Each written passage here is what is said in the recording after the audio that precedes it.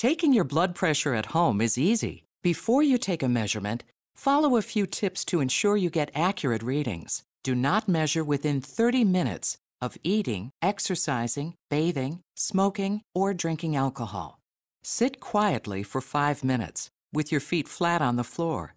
You are now ready to take a measurement. Secure the cuff on your left wrist and align the monitor with your thumb. Place the cuff one half inch away from your wrist bone. Hold the bottom part of the cuff and wrap it around your wrist so it fits comfortably and securely. To turn the unit on and take a measurement, press the Start Stop button once. The monitor will start beeping. Holding your left elbow and arm against your body, elevate your wrist to heart level. The monitor will beep faster as you get closer to the heart zone. Four slow beeps will sound when the unit is in the correct position. Sit straight and do not move during the measurement. The cuff will begin to inflate when the correct position is reached.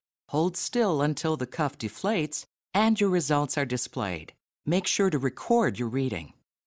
Press Start Stop to turn off the monitor.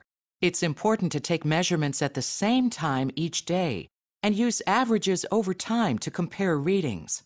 Because each person is different, consult with your doctor about what your numbers mean to you.